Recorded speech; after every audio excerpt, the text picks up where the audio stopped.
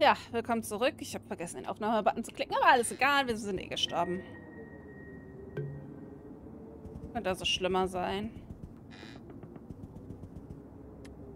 Also hier ist es so dunkel.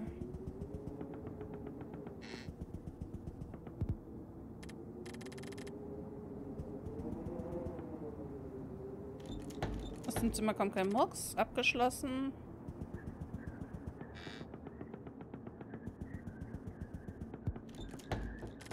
Ist da jemand? Ja, bitte. Ich brauche deine Hilfe. Braucht draußen seltsame Geräusch gehört. Muss mein Vater sehen. Du musst mir den Schlüssel ins Zimmer besorgen. Okay. Löst dieses Rätsel und du findest ihn. Hör genau zu, denn ich werde ihn nicht wiederholen. Oh Gott, ey. In den Schatten lauernd, in Bestürzung verloren, hart der goldene Glanz, bis das Tageslicht wird geboren. Also in der Dunkelheit, ja? Das Tageslicht. Im Morgengrauen wenn die Tiere aufstehen, musst du vom Nord Nordstern geleitet deinen Weg weitergehen. Vom frohen Zwitschern gelockt, folgt die Hoffnung im Nu. Wende dich zum Führung dem barmherzigen Galgen zu. Die Glocken werden deinen Untergang kundgeben. Solltest du dich nicht für den Sonnenaufgang im Osten solltest du nicht für den Sonnenaufgang im Osten beten. Er nährt sich durch die lauten, knarrenden Pforten und wolkt von Angst, lass die still sein, dein Eskorte.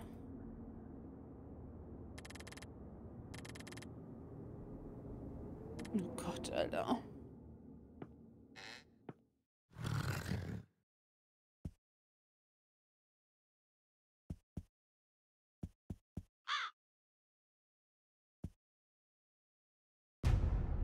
Was?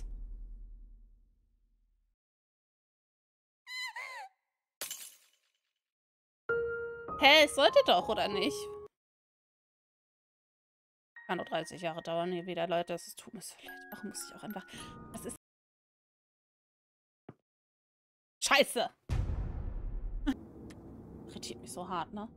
Das Scheißrätsel. So, erstmal nach oben. Dann gehen wir nach hier rüber. Dann gehen wir wieder hoch. Dann bleiben wir stehen.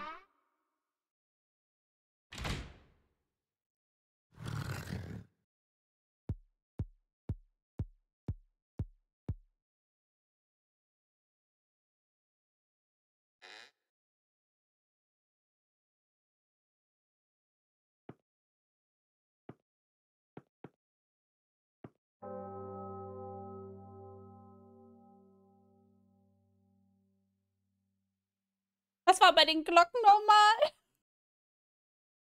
Also müssen wir nach dahin. Gehen wir dahin? Oh Gott. Gehen wir jetzt dahin?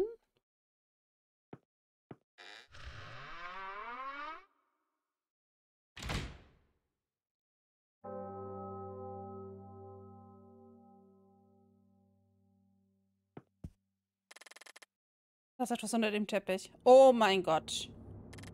Oh mein Gott, ich bin so ein Genie. Hat haben 10 Minuten gedauert.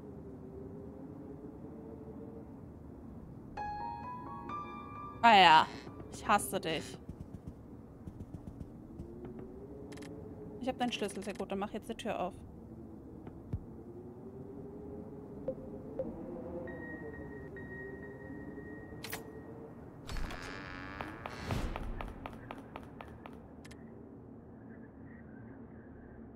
Ecke speichern. Ganz im Ernst, das gebe ich mir nicht nochmal.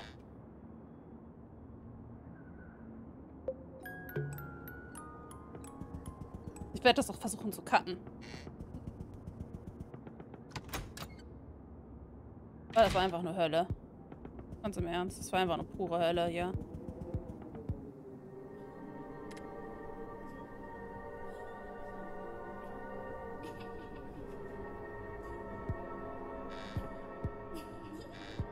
Ja.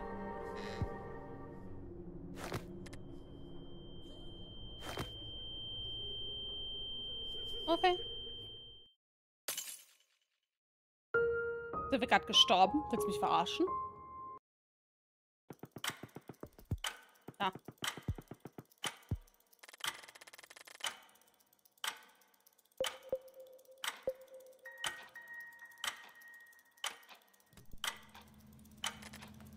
Oh, Eli Elise. Elise, Elise. Ich, du dachtest wirklich, du könntest mich täuschen, nicht wahr? Ach, keine Angst, mein liebste Elise. Ich dir ein getreuer Gönner werde, pünktlich. Du willst doch nicht etwas unschönes golden abmachen umsonst? Ach, ich kann gar nicht so schnell leben. Diese Stimme. Oh, weiß auch nicht.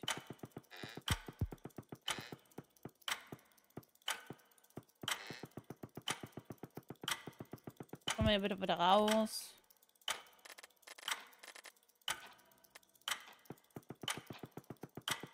Ich hasse diese Uhren. Oh, super.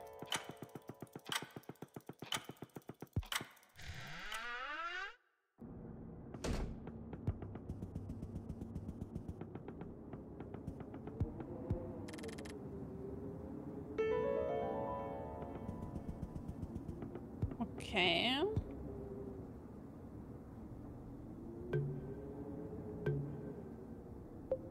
Wir speichern mal kurz.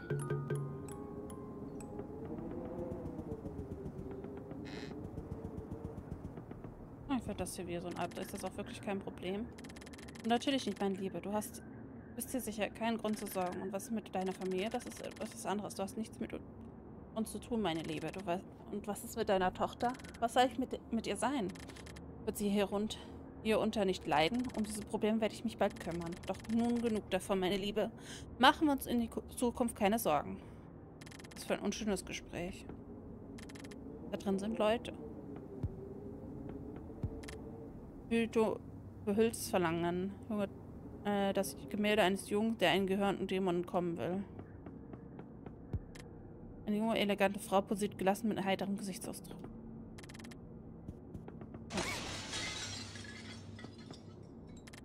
Und euch liegt zerschmettert auf dem Boden. Kerzen sind überall verstreut. Ah, jetzt auch egal. Elenden. Mich umbringen? Nicht mit mir.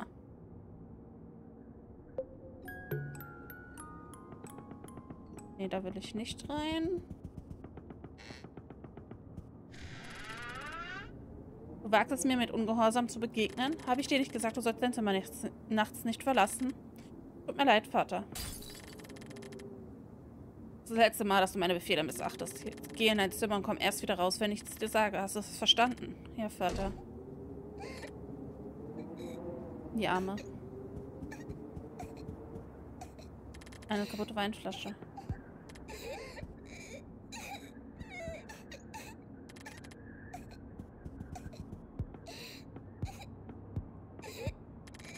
Mehrere verschiedene alkoholische Getränke jetzt auf dem Glaswagen. Oh, perfekt.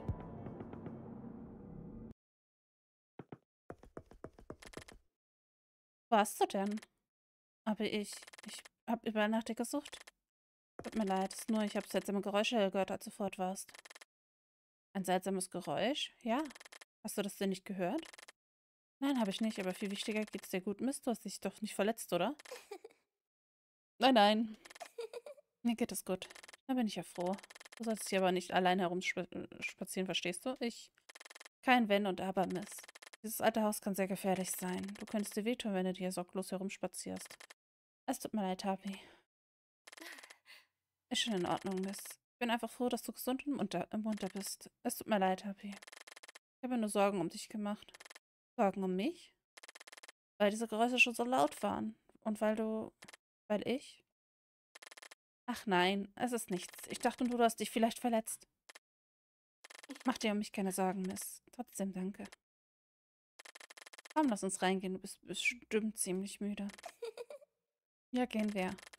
Gib mir deine Hand, damit du dich nicht verirrst. Okay.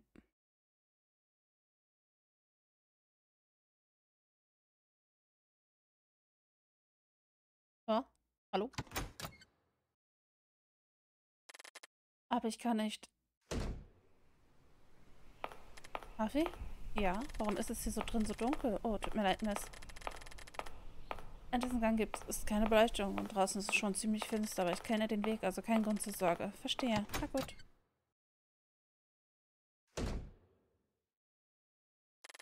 Wir sind da, Miss. Mhm.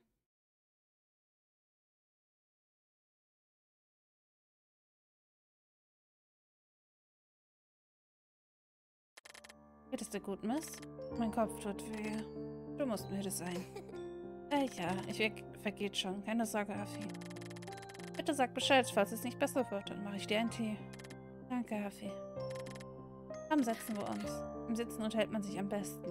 Haben wir uns nicht eben unterhalten? Wollte ich mich nicht schlafen legen? Wo warst du denn die ganze Zeit, Miss? Oh, ich. Ich war auf der Etage über dieser. Das Geräusch schien von oben zu kommen. Also, du hast dich da nicht hingehen sollen, Miss. Ich... Ach, ist schon in Ordnung. Ich bin, mir, ich bin nicht sauber. Ich habe mir nur Sorgen um dich gemacht. Du musst nicht so ein Gesicht machen, Miss. Es tut mir leid, Harvey. Nein, mir tut es leid, dass ich so lange gebraucht habe. Egal, wo sind wir denn hier? Oh, das ist ein ganz normaler Saloon. Ah, verstehe. Ich bin so froh, dass du sicher bist, meine Liebe. Trotzdem machst du einen etwas verwirrten Eindruck. Ich würde, ich würde gerne etwas fragen, Huffy. Bitte nur zu. Ist außer dir sonst noch jemand in diesem Haus? Wie meinst du das? Oh, ich, äh, entschuldige. Ich wollte dir keine Angst machen, aber ich glaube, ich Stimme gehört unten. Stimmt. Ja. Ich muss dich enttäuschen, Miss. Außer uns beiden ist hier niemand. Du dir sicher? Ja. Er hat bestimmt nur die Fantasie einen Streich gespielt. Ich weiß ja nicht, ne? Er wurde gejagt und mehrfach umgebracht. Ja, wahrscheinlich hast du recht. Du musst wahnsinnig müde sein. Müde sein, ruhig dich doch einfach aus. In den oberen Stockwerken. Oh nein.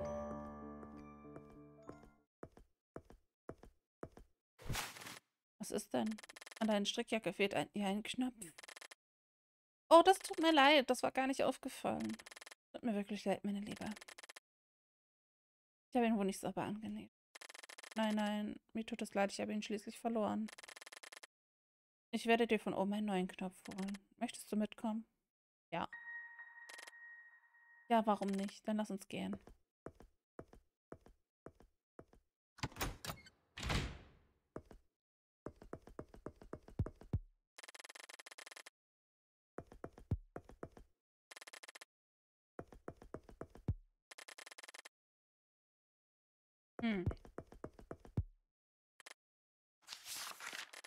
Kapitel Tischmanier. Wenn angekündigt wird, dass sonst fertig hat man einen Ruf umgehend zu folgen, damit keine Unannehmlichkeiten und Verspätungen entstehen.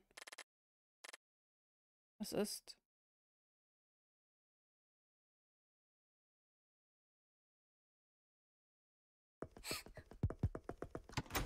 Hm. Es war Zeit für mein Schläfchen. Ich kann es kaum erwarten. Warum machst du ein Schläfchen denn nicht gleich? Nein, nein, wenn mein Schönheitsschlaf nicht perfekt ist, fallen mir die Blätter ab. Wir sind aber nicht so verständlich ein Fremdwort, oder? Ich beginne den Countdown. Eins und zwei und drei. Geisterstunde.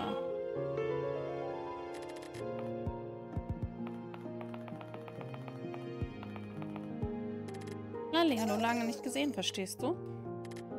Ich bin nicht... Binde dich. Benimm dich doch endlich wie ein Gewachsener.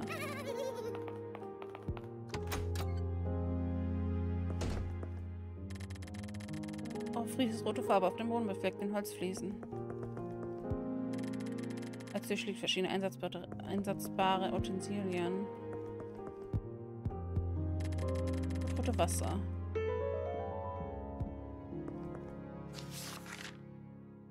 braves Mädchen.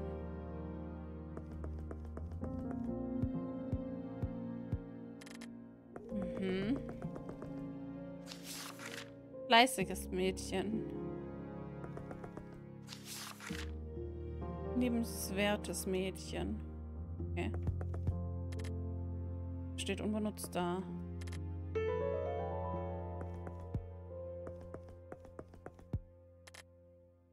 Leinwand ist leer. Mhm. Mein Gott, dieser Zettel.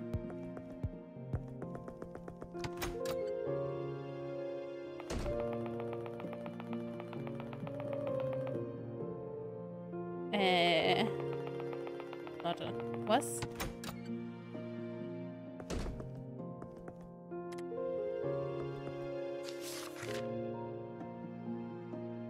Wir sind im Kreis gelaufen. Oh nein, Alter.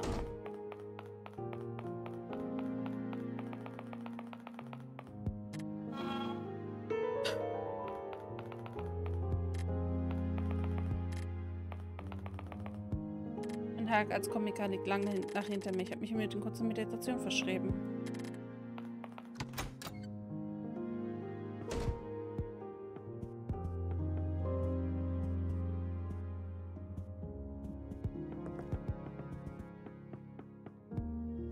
Oh, du hast 70 Talismane. Schön für dich. Hallo Kleines, wärst du vielleicht interessiert für Anteil Riechen, bekommt mir vielleicht eine Belohnung. Ja. Aber nicht. Mathematik. Äh.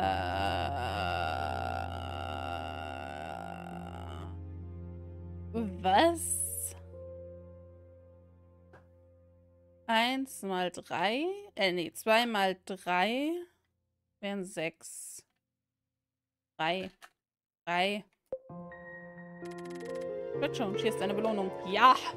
Klug!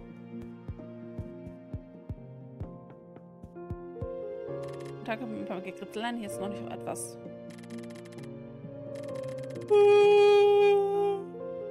Ich ziehe sie. Ich ziehe sie der Stimme meines Lehrers, meines Bruders, meines Vaters vor. Mutters Stimme habe ich nie gehört, aber sie soll sanft und liebevoll gewesen sein. Meine eigene Stimme allerdings, sie hasst sich am meisten.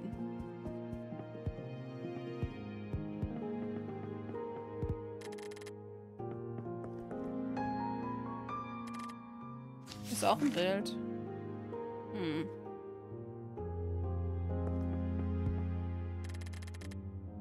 Oh Gott, Alter, ich will gar nicht wissen, ob ich irgendwas übersehen habe.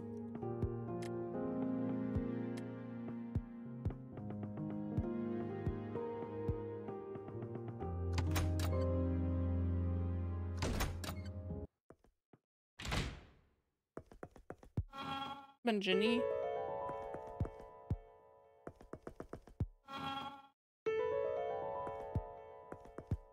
Mm.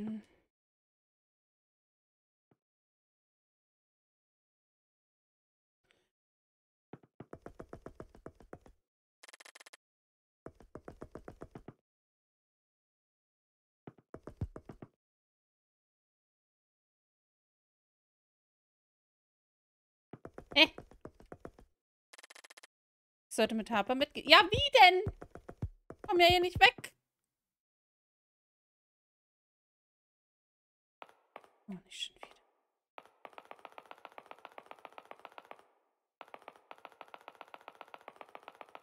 Was ist dieser dunkle, dunkle Gang? Endet das auch irgendwann? Ja.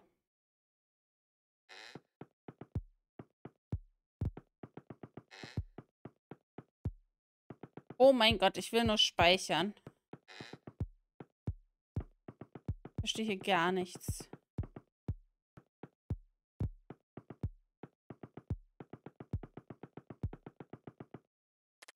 Hafi? Entschuldige, meine Liebe. Ich glaube, ich bin ein bisschen zu weit vorausgegangen. Oh nein, schon in Ordnung. Ich habe mich nur gefragt, wo du hin bist. Ja, ich habe mich 30 Mal verlaufen. Aha. Ich wollte dir keine Angst machen. Fabi, wo sind wir? Sag mal, Miss. Was, was? Ja, was denn? Erinnerst du dich an diese Kommode? Hm. Nein. Aha, hier setzt sich. Mafi? Ja. Sollte ich die Kommode erkennen? Nein, nicht wirklich. Ich habe mich nur aus Neugier gefragt, sonst nichts. Aber wenn du mich dann fra das fragst, hast du dann... Mich? Entschuldigung. Ähm, ja. Kein, ist kein Problem, wenn du dich nicht willst, aber darf ich deinen Haar bürsten? Meine Haare? Ja, ist das, das ist etwas, das ich schon sehr lange tun wollte. Ja. Ja, natürlich darfst du das. Danke, meine Liebe. Dafür bin ich dir sehr dankbar. Ja, könntest du mir dann bitte die Haarbürste reichen? Ja, klar.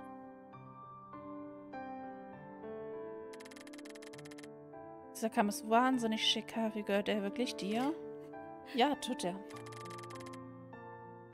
Meine Familie hat ihn mir vor langer Zeit geschenkt. Verstehe. Das klingt vielleicht komisch, aber ich glaube, ich habe ihn schon mal irgendwo gesehen. Vielleicht kommt mir deine Erinnerung zurück. Hm, Havi, ja, was ist denn meine Liebe? Kannst du mir bitte etwas mehr über mich erzählen?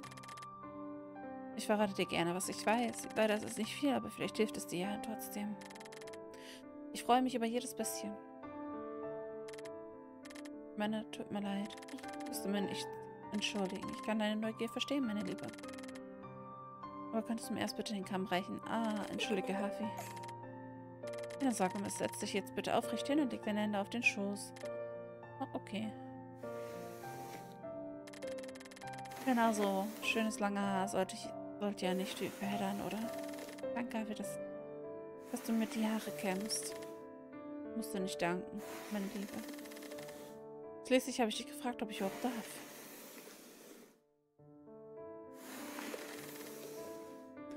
Du bist ein richtig süßes Mädchen, Miss. Auch wenn dir bestimmte Umstände gewisse Schwierigkeiten bereiten. Meinst du das? Du musst mehr Selbstvertrauen haben. Du bist ganz allein so weit gekommen, also wird es Zeit, an deine Fähigkeiten zu glauben. Du hast vermutlich recht. Du magst dich vielleicht nicht so sehr, aber du bist ein sehr fleißiger Mensch. Niemand außer dir weiß, welche Hürde du auf deinen Reisen überwunden hast. Nur du kannst deine Ziele, deine Ängste und deine eigene Stärke kennen. Aber es wird Zeit, dass du dich zusammenreißt, meine Liebe. Schluss mit den Zaudern. Schluss mit den Zweifeln.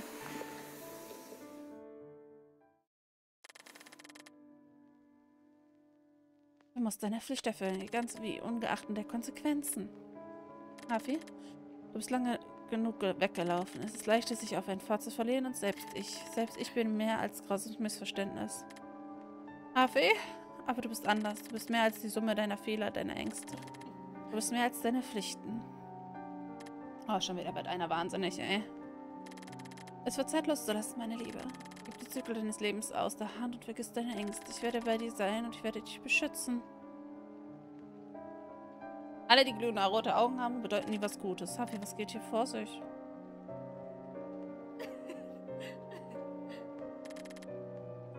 Bei mir bist du sicher.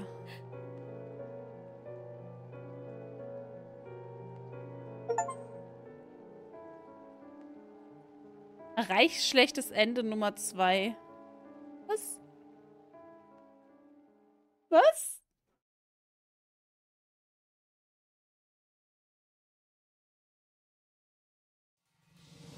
Ähm. Was? Hä? Was habe ich getan? Was habe ich ein schlechtes Ende? What? Ja, okay. Ja, dann, ja. Äh, wir sehen uns in der nächsten Folge oder so. Adios.